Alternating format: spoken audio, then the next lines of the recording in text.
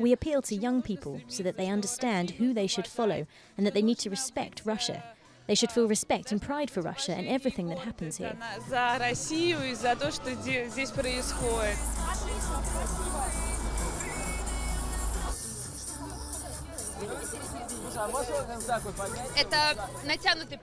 This is far fetched patriotism. It's insincere because it doesn't express the individual.